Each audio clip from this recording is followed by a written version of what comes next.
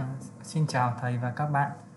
Thì sau đây em xin thuyết trình bài giữa kỳ của em là Trần Công Minh môn xử lý tiếng nói.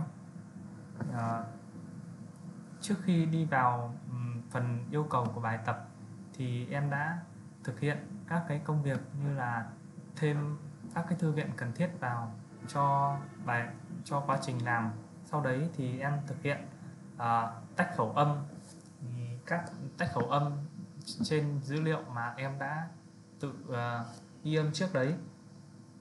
Thì dữ liệu dữ liệu trước khi uh, trước khi được tách ra thì là các uh, là các cái file bên trong chứa các cái khẩu khẩu âm nên mình cần phải tách ra và uh, uh, đưa chúng vào một folder uh, cùng một nhãn dán.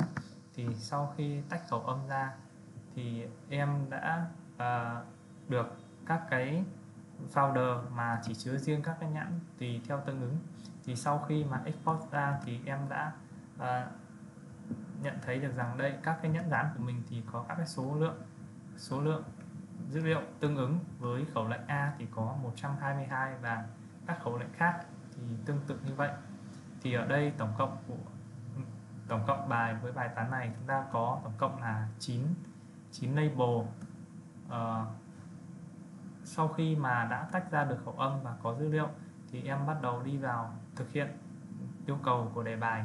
Thì đầu tiên là, à, trích xuất đặc trưng và FCC thì đầu tiên thì uh, em cần phải phát các cái file với sử dụng thư viện là libroza thì uh, em thực hiện ở đây ở đây chúng ta có tổng cộng là 9 các khẩu lệnh thì tương ứng với các khẩu lệnh này thì chúng ta sẽ tính được các cái MFCC tương ứng cho chúng. À, tuy nhiên ở bài này thì em sẽ à, tính với cái MFCC tính cho khẩu lệnh là A còn các khẩu lệnh khác sẽ được tính tương tự. À, em sẽ sử dụng libproza để load file audio với khẩu lệnh A lên và chúng ta sẽ có được signal và sample rate sau khi sau khi load à, file à, âm thanh lên thì à, em sử dụng à, thư viện có sẵn hàm có sẵn trong thư viện Nipproza để tính MFCC tương ứng. À, thì sau khi tính xong thì chúng ta sẽ có MFCC với số chiều là 13 và 25 thì à, chúng ta có thể à, hiển thị để à, hiển thị à, MFCC lên để chúng ta có một cái phổ à, spectrum tương ứng. Sau đó thì em sẽ tính sẽ tính à, MFCC với lần lượt đạo hàm lần 1 và đạo hàm lần 2 à, để có thì các cái feature tiếp theo thì có số chiều tương ứng vẫn là 13 và 25 sau đấy em sẽ à, hiển thị visualize chúng chúng lên. Và à, cuối cùng là em sẽ nối tổng cộng 3 à, 3 3 feature này lại để được một để một được một vector có số chiều là 39 và 25 thì đấy là công việc đầu tiên sau khi chúng ta có chúng ta cần trích xuất bằng FCC cho một à, cho một file âm thanh bất kỳ. Tiếp đến là em sẽ à, sử dụng DTW để nhận dạng khẩu lệnh đơn. Thì trước khi để tính được DTW thì à, chúng ta cần phải tính được MFCC cho các dữ liệu đầu vào. Tương tự như bài trên thì bài này em sử, sử dụng với khẩu lệnh A em sẽ sử dụng 3 dữ liệu đầu vào với khẩu lệnh A. Và sau đấy em sẽ tính được uh, feature cho MFCC tương ứng với ba file âm thanh đầu vào.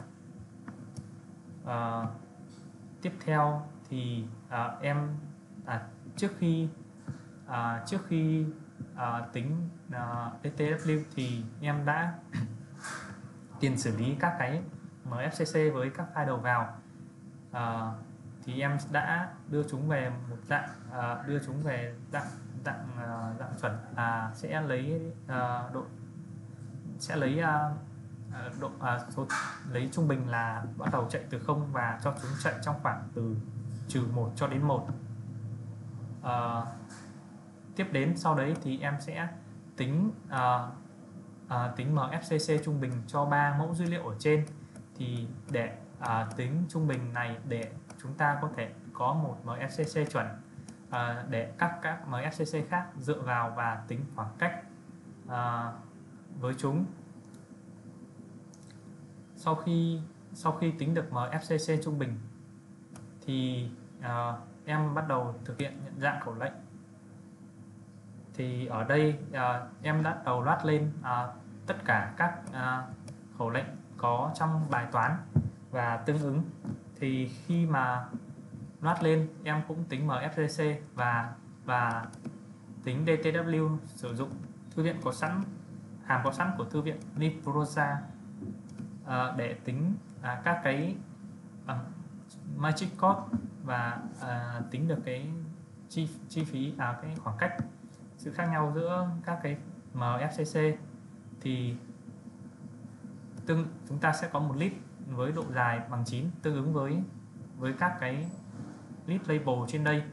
Thì thì nhìn vào số này chúng ta à, chúng ta sẽ tìm kiếm với số nào mà có giá trị nhỏ nhất thì tương ứng với khẩu lệnh à, trên đây à, có giá trị gần nhất giống nhất đối với khẩu lệnh chúng ta cần tìm.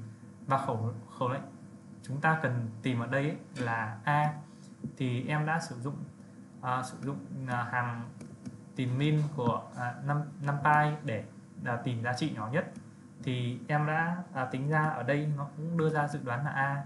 Vậy là TTW đã đưa ra dự đoán à, chính xác so với à, những gì à, chúng ta cần tìm kiếm. Tiếp sau đấy thì em sử dụng à, HMM để nhận dạng khẩu lệnh. Thì sử dụng HMM em có tham khảo à, à, code trên một trang GitHub. À, đầu tiên thì chúng ta sử dụng MFCC sau đấy thì chúng ta cần phải cài đặt thư viện HMM lên vì à, sau đó thì chúng ta sẽ train model. Train model thì ở đây số lượng model sẽ tương ứng với số lượng nhãn dán mà là chúng ta có ở đây là 9 thì sau khi mà đã uh, train được model sử dụng HMM thì uh, chúng ta cần đưa ra dự đoán. Thì dữ liệu uh, dữ liệu trong tập trên ở đây thì em đã sử dụng hết 100 100 file mà em đã tự ghi âm đối với uh, của em. Sau đấy em tách khẩu lệnh và train. Thì khi mà dự đoán thì em đã à, lấy dữ liệu của bạn cùng nhóm em là ghi âm và em đã sử dụng để mà huấn luyện à, để mà đưa ra dự đoán. Thì ở đây em sử dụng dự đoán là với mong muốn là đầu ra là xuống và model cũng đã dự đoán được ra là xuống. Thì tương tự chúng ta cũng có thể sử dụng lên. À, với MFCD đi và lên thì chúng cũng đưa ra được dự đoán là lên. Vậy là mô hình của chúng mô hình MFHMM cũng đã đưa ra được dự đoán chính xác thì trên đây là tất cả uh, tất cả uh, những phần em đã cài đặt và thực hiện cho bài tập giữa kỳ. Uh, em uh, xin chân thành cảm ơn.